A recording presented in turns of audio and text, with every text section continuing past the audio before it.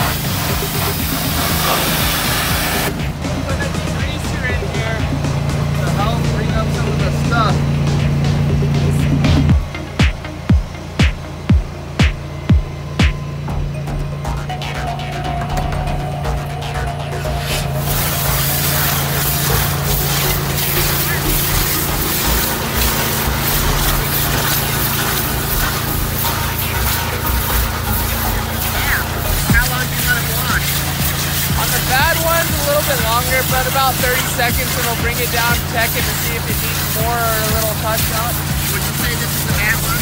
I would say this is a pretty bad one, at least with the smell. It smells pretty bad. I said all the steam coming out of it from us running 200 degrees of water. So if you want to come look in it, Let's see.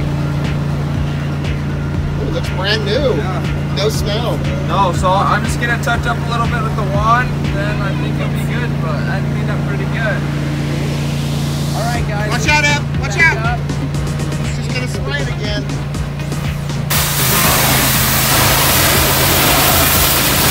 Well, thank you, Peyton. Yeah, no problem. That out for you. And you guys, you and your your brother, right? Yep. You guys just started your own business, and Yeah, so my brother started it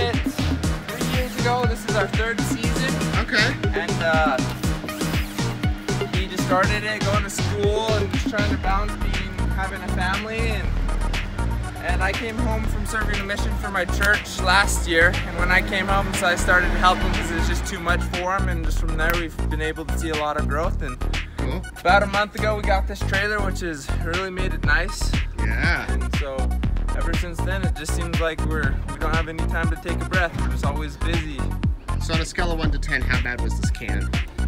Probably probably a nine with the you, you've seen worse. I've I've seen worse. There's one where so these heads just spin around and it does a pretty good job, but when it's greased on there, I have to get the wand and I just have to sit there and go over every Oh. square inch of it, and that's what takes long. This one wasn't bad because it cleaned up pretty good, Yeah. but the tens are the ones where I just have to sit there for a half hour just constant spraying. Oh boy. Well, thanks so much for coming by.